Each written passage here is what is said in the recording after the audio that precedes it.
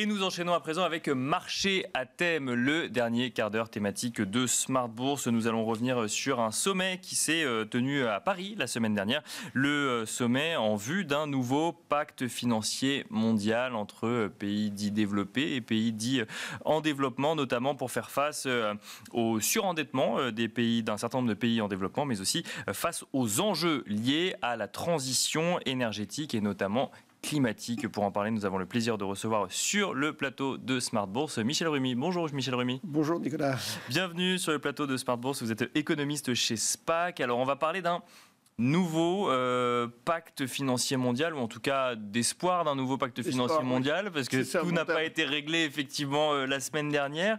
Avant euh, d'aller sur ces nouvelles propositions, peut-être un mot rapide sur le système que l'on connaît actuellement, celui qui est en place, ce système qu'on appelle le système de Bretton Woods. Oui, oui, oui. Bah, cette question va nous ramener à nos vieux cours d'économie euh, du passé et en même temps, je dirais, c'est très évocateur.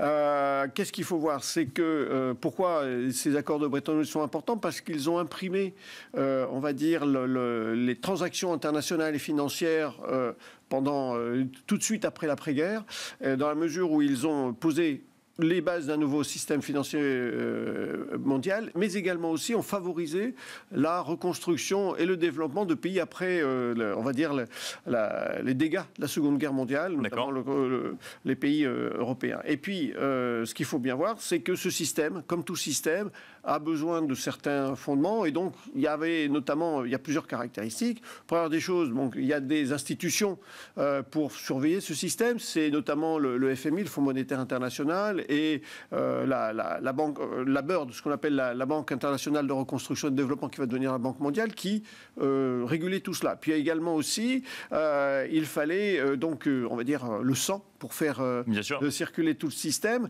Et donc, on, s'est basé sur l'once d'or, Troy, qui équivalait à 35 dollars, le, 35 dollars américains. Oui, bien sûr. Et ce qu'il faisait, c'est que comme les États avaient euh, déterminé leur monnaie en fonction de, poids d'or, eh bien, implicitement, ils étaient euh, euh, arrimés, on va dire, au, dollar, d'une certaine manière. Et puis, il y avait aussi un taux de change qui était fixe mais ajustable, c'est-à-dire qu'il y avait des parités fixes, mais on pouvait fluctuer à, avec plus ou moins 1%. Et puis, tout cela s'est bien développé, tout s'est bien passé. Et puis, ce qui s'est passé, c'est que ben, tout, tout, tout le monde s'est développé. Et euh, on a mis en, péril, on va dire, la, capacité des États-Unis à pouvoir, euh, euh, on va dire, convertir leur dollar en or. Et, et 27 ans plus tard, 15 août 71, le euh, président Nixon annonce que le dollar est inconvertible en, or. Et donc, du coup, ça a un premier tremblement, hein, parce que, euh, compatible, on va dire, pour mettre en, parallèle, c'est que d'un seul coup, euh, autant auparavant, on va dire, on, on, avait une valeur de la monnaie en or éventuellement, là, d'un seul coup, on n'a plus rien. Et ça me rappelle des, des, des effets avec la crypto, dans la mesure où on n'a rien de tangible. Et donc là, le billet de banque n'a rien de tangible non plus, à part, on va dire, la confiance. Et donc, c'est ça qui est très important. Pourquoi le, système euh, financier international ne marche-t-il plus aujourd'hui, euh, Michel Rumi Alors, ce qu'il faut bien voir, c'est que euh, l'objet hein, de ces deux institutions qui étaient le FMI et la Banque mondiale, c'était de financer le développement et d'assurer la stabilité économique. Et c'est aujourd'hui, c'est plus tout à fait le cas, notamment à l'égard des, des, pays du Sud, et encore moins à les aider à faire face au changement climatique. Euh, ce qui s'est passé, c'est que euh, la pandémie du coronavirus euh, qui est, passée par là, il y a eu également les, conséquences de, la crise de l'Ukraine, qui fait que, alors qu'il y avait une trajectoire de développement pour les pays, on va dire, les moins développés, eh bien, ont été un peu stoppés.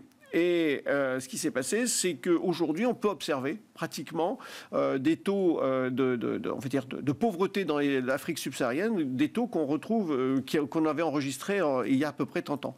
Donc ça, c'est la première des choses. Et puis surtout, ces deux éléments sont venus euh, s'ajouter à une crise d'endettement. D'accord. Euh, qui fait que, par exemple, aujourd'hui, il y a des pays qui, qui sont non soutenables. Euh, leur dette n'est pas soutenable. C'est le Sri Lanka, c'est le Ghana, c'est le Suriname, par exemple. Et en fait, ces pays, certains pays, dépensent plus à rembourser cette dette qu'à investir, on va dire, pour maintenir à flot leurs leur services publics, voire à lutter contre le développement climatique. Mais vous pourriez me dire, bah oui, mais le développement climatique n'était pas un enjeu de, de 1945. Donc, Tout cela fait que aujourd'hui, il faut une révision totale de notre logiciel, on va dire de pensée, et certaines études montrent qu'il faudrait, euh, pour aider uniquement les pays du Sud, à peu près 2000 milliards de dollars par an jusqu'en 2030 pour justement permettre à, ces pays du Sud de réduire leurs émissions et s'adapter aux nouveaux, on va dire, éléments et faire face aux premiers pertes et préjudices déjà subis. 2000 milliards euh, de dollars par an, est-ce que c'est euh, tenable, envisageable, ou alors est-ce qu'il faut plutôt réfléchir du côté de la restructuration des dettes, euh, Michel Rumi Alors, la restructuration des dettes, c'est une bonne chose. Alors, ce qu'il faut voir, c'est qu'il y a eu déjà des initiatives qui ont été déjà lancées depuis l'an 2000 à peu près. c'est l'initiative des pays pauvres très endettés. Il y a aussi l'initiative d'allègement de, la dette multilatérale. Tout ça, c'était aux, alentours des années 2000. Et puis, avec le Covid, eh bien, euh, les, pays du G20 ont, on va dire, adopté l'initiative de suspension des dettes, c'est-à-dire que la dette n'était pas annulée vis-à-vis de ces pays, mais on ne payait pas les, on payait que les intérêts. Et puis, euh, tout cela, en fait, ces initiatives revenaient du, du à l'initiative, on va dire, du Club de Paris, grosso modo. Mais aujourd'hui, le grand problème de la restructuration de la dette, c'est qu'il est beaucoup plus complexe parce que euh, les pays en, voie de développement se sont ouverts à de nouveaux créanciers bilatéraux qui ne font pas partie du euh, Club de Paris, mais qui sont, on va dire, des, émetteurs privés, des, aussi des pays émergents. Et c'est ça qu'il convient de, de, noter, parce que c'est ce qui rend plus complexe, on va dire, la restructuration de la dette. Et donc, dans cette perspective, 2000 milliards, par an, euh, ça peut repenser beaucoup, mais au regard des sommes mises par les pays pour, euh, lors de l'année 2020 face au, Covid, on a dépensé près de 28 000 milliards de dollars. Donc 2000, c'est vraiment un peu, on va dire. Mais le sujet, c'est juste une question d'argent? Non. Ce qu'il faut bien voir, c'est que euh, on ne va pas gagner d'argent avec à financer la transition écologique. L'objet est surtout d'au moins de ne pas en perdre. Parce que ce qu'il faut bien voir, c'est que la transition écologique et tout, on va dire, le changement climatique, tous les pays vont être touchés par ce phénomène. Donc, il faut faire de telle manière que euh, l'impact soit le moins lourd possible pour chacun. Et l'idée, c'est de pas dépenser plus, mais de dépenser, on va dire, mieux. Et euh, le problème est qu'aujourd'hui, euh, la, Banque mondiale, les banques multilatérales de, développement euh, financent, on va dire, des, projets d'éoliennes, de, on va dire, de,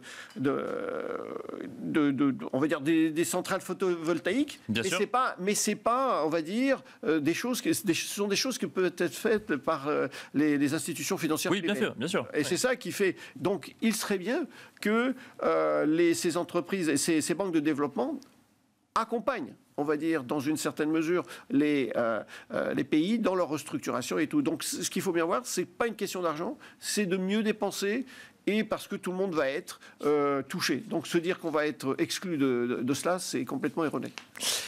Est-ce que, ou alors, enfin, la question qu'on peut se poser aussi, c'est que si on réfléchit à un nouveau pacte donc euh, au, niveau mondial, un pacte financier au niveau mondial, est-ce que ça a un intérêt? Est-ce que c'est une nécessité pour les pays dits du Nord, les pays dits développés?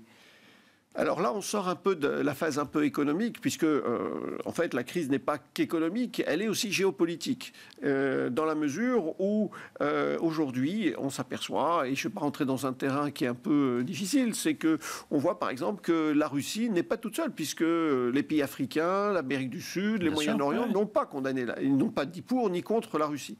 Et donc il y a une certaine défiance vis-à-vis des pays du Nord, de l'Occident, sur fond de promesses non tenues. En fait, on reviendra peut-être tout à l'heure. Et donc cette cassure, c'est de plus en plus agrandi ces derniers mois parce que on a, euh, ces pays ont trouvé de l'argent pour aider l'Ukraine et ils n'ont pas trouvé, ou ne trouvent pas d'argent pour aider euh, les pays développés, à, euh, moins développés à, faire face à leurs dettes.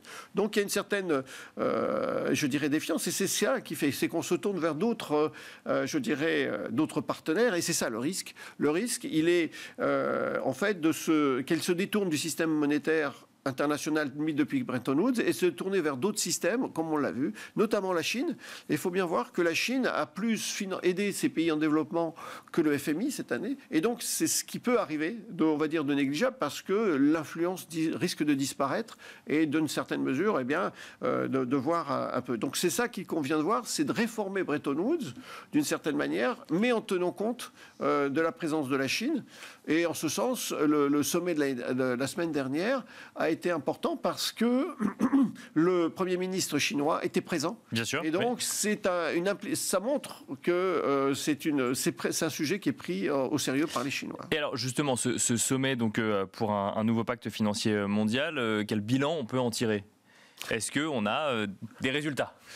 Alors, ça, euh, c'est. alors, il y a déjà un consensus. Tout le monde est d'accord pour réformer en profondeur le système euh, financier mondial, mais en fait, on va dire, la montagne a accouché d'une souris. Il y a eu très peu d'avancées.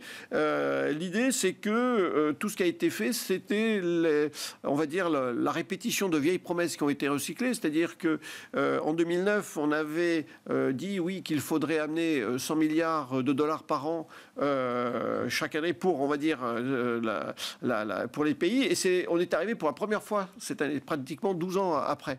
Euh, ce qui s'est passé aussi, c'est que euh, y a eu 100 milliards de dollars en DTS à euh, à destination des pays du Sud. Et ça, c'est une promesse de 2021. Donc on voit qu'il n'y a pas eu de, on va dire, on a la répétition de promesses, mais l'argent neuf, il n'y en a pas eu, puisque, et c'est ça qui est très important dans une certaine mesure, c'est que toutes les taxes qui pouvaient prévaloir sur les taxes financières internationales, sur euh, les avions, sur le transport maritime, eh bien, n'ont pas abouti. Donc il y a une certaine, un, certain, une certaine déception. Bien sûr. Et euh, ce qui fait qu'il n'y a pas d'argent neuf pour le, la crise climatique qui, risque de nous arriver bientôt très rapidement, que, faut-il en penser de, cet immobilisme, hein, si je comprends bien, sur le sujet?